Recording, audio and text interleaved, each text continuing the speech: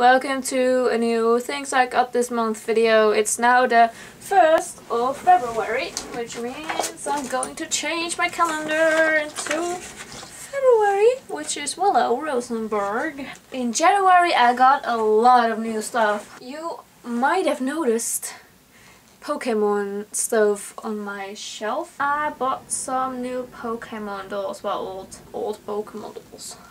And they're very cute. I also bought the Goonies movie. Then we're going over to this uh, pile of books. My cousin and his girlfriend moved into a bigger house but the person that used to live there left everything in that house. I took a load of books with, with me. Uh, this is one of them. It's a story about a knight, uh, Robert Roodhaar. They're all very Dutch books, so don't think you will recognize them. I don't even recognize them myself because they're very old. But it looks interesting. Uh, this is a book about a martyr. Ooh, ooh, it's so old! It's so old! With drawings in it and stuff. It looks very cute. Poetry from uh, Cats, Jacob Cats. No, I'm not going to try to translate this because it's even hard to read in Dutch. Here is a book about pirates. The Dutch kind of pirates, which wear very weird jeans and yeah, Indian art.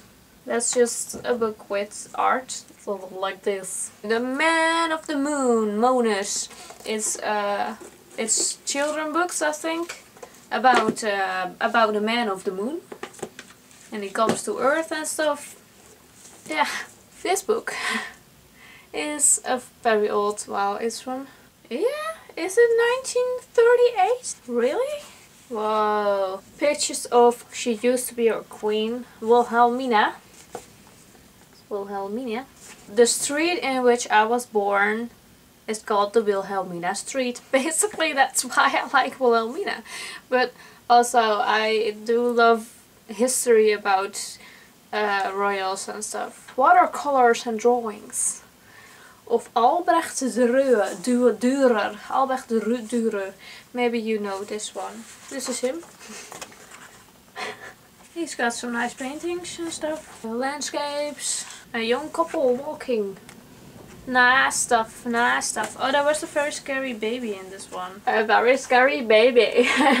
that were the books I got from my cousin. Then I got some books from my sister. This is Pride and Prejudice and Zombies. It's uh, being made into a film at this moment. Well, it's completed, I think. This is How to Read a Film. Looking at film from many vantage points. How to read film, movies, media, multimedia, explores the medium of uh, as both art and craft, sensibility and science, tradition and... Uh, it's, it's, it's a lot. But we'll see. I think it might be used, useful. Just like this one. This is how to make a movie. Then there is Imagineering which also might be useful. I got some makeup. I almost never wear makeup. Why would I get it? And I got this bag from my sister. My friend Vincent, he works at the cinema. And sometimes at the cinema there are these ladies nights and then he has to work and then he gets some stuff with him. And that's this.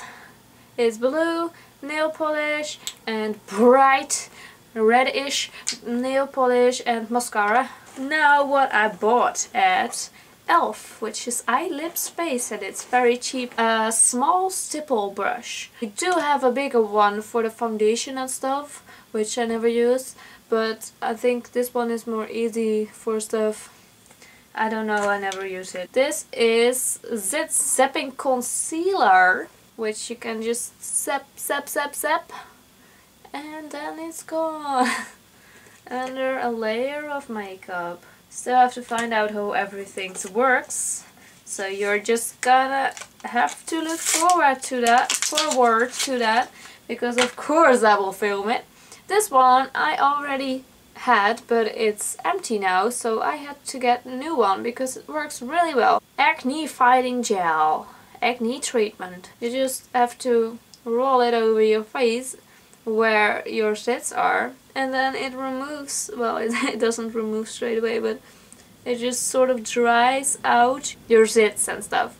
This is BB cream. It's just like sort of foundation. It helps prevent sunburn.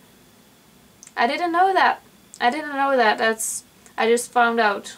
There is pressed powder for over your face to make it not shiny and the way your face looks when you powder it. Ooh, it goes open and then you have this which you can use to powder your face.